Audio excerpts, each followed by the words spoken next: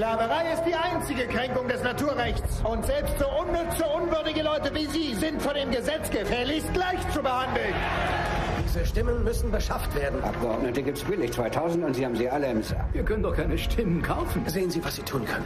So viele werden sterben, wenn Sie nicht bald Frieden schließen. Ich kann den Krieg nicht beenden, solange wir uns nicht von der Sklaverei kuriert haben. Und das Heilmittel dafür ist dieser Artikel. Wir brauchen zwei Ja-Stimmen. Scheren Sie sich raus und beschaffen Sie sie. Aber wie? Ich bin der Präsident der Vereinigten Staaten, ausgestattet mit immenser Macht. Lincoln war der größte Präsident, den wir jemals hatten. Er hat unser Land sicher durch die größte Krise in seiner Geschichte geführt. Mehr als jeder andere hat Lincoln den Vereinigten Staaten geholfen zu überleben. Der Film zeigt die letzten Monate des 16. amerikanischen Präsidenten kurz vor dessen Ermordung. Lincoln vereinte das durch den blutigen Bürgerkrieg zerrissene Land und schaffte die Sklaverei ab.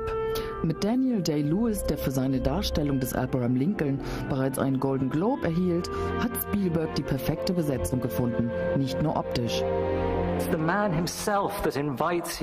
Lincoln war eine sehr einladende Rolle für mich, weil er als Mensch so offen war.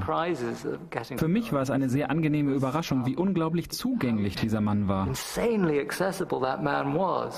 Die Hälfte aller Männer in Boston hast du eingezogen. Was glaubst du, denken deren Familien über mich? Die werfen nur deshalb keine Sachen nach mir und bespucken mich, weil du so beliebt bist. Ich kann mich einfach nicht konzentrieren auf, auf britisches Kaufmannsrecht. Das britische Kaufmannsrecht ist mir völlig egal. Vielleicht will ich überhaupt kein Anwalt werden. Das ist ein handfester Beruf.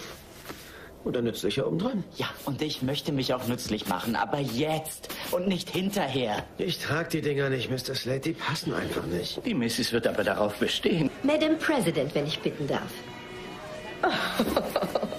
Sie berufen doch nicht wieder einen Ermittlungsausschuss gegen mich ein. Ich mache einen Scherz. Sie dürfen lächeln, Senator Wayne. Ich glaube, das tue ich bereits, Mrs. Lincoln. Solange Ihre Haushaltsbücher in Ordnung sind, Madam, sehe ich für eine Ermittlung keinerlei Grund. Die Probleme, die Unordnung und die komplizierte Natur einer Demokratie sind zurzeit überall in der Welt sehr deutlich zu spüren. Es braucht sehr lange, um eine Demokratie einzuführen, und es ist harte Arbeit, sie im Laufen zu halten. Das ist gerade jetzt in der ganzen Welt sehr stark zu spüren. That resonates all over the world right now. Wir werden mit absoluter Gewissheit alles verlieren. Schieß mich tot, ich stimme mit Ja! Lassen Sie die Verfassung in Ruhe. Heute werden wir abstimmen. Nein, Sie kränken Gott!